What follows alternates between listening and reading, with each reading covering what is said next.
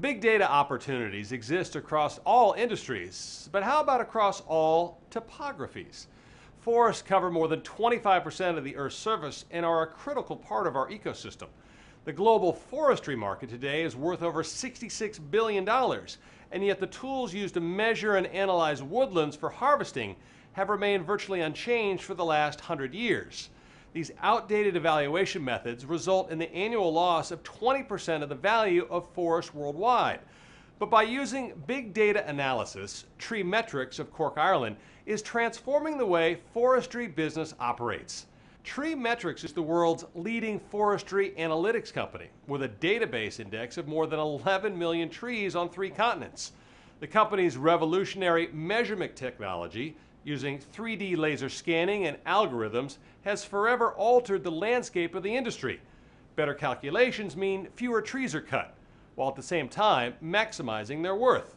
And the cost of appraising a forest drops by as much as 75%.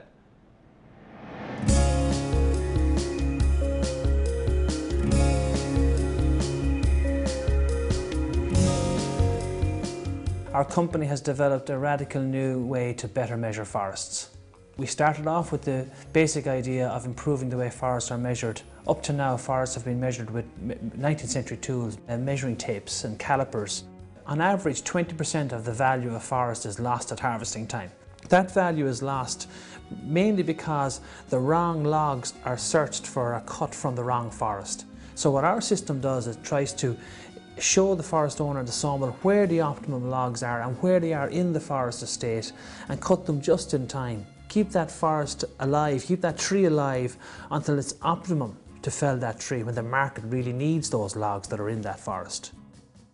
We've created a, a, new system using 3D scanners. So the starting point is 3D scanners from the air from an aeroplane and on the ground with a 3D uh, laser scanner. And we're the first company in the world that combines aerial scanning that looks down on the forest, that gives you a macro view.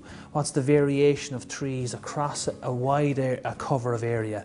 And then the ground sampling system is the terrestrial scanner where we go in and we actually scan sample plots to try and work out, well then, what's actually down on the ground. We've developed intelligent software then that takes this new information and, and creates a digital forest, a 3D forest. And that forest is stored in the cloud. Forest owner can type in the logs that the market currently wants and they can cut those logs and test all the available forests out there across the resource, which forests best suit that current market demand. It's bringing the world of lean manufacturing to the forestry supply chain. The old world was based on models and models are generally not ever totally correct. And with the analytic system that we have, we're able to do some, some new, type of, new types of data mining and analysis to allow the forest owners to give real insight into the actual contents of the forest. We're only waking up to the whole power of big data. We've realized that there's a huge opportunity to capture masses amount of data from different parts of the world and, and, use that data to work together with other forest owners to share data to be able to give insight at a global level. Foresters think at a national, at a local level too much, whereas it's a global challenge. And that challenge is to try and keep that market supplied, but using as, as, as little forest as possible, trying to manage that forest as sustainably as possible. So big data and analytics is where that solution lies. It's about getting better information and analysing that information, analysing that data and to create new insight, new information and make better decisions. That's the real opportunity of big data and analytics. The missing link is this better information, this tackling this information problem of, of what is actually out there before harvest. We've developed a virtual harvesting machine that allows the forest owner and the sawmiller to go online after we've scanned the forest, collect this better information and allow them to cut the forest online and see which forests yield the right amount of logs, the right types of logs and where are those logs in the forest.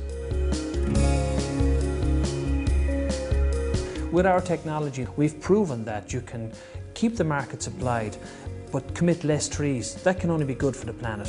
More wood from less trees.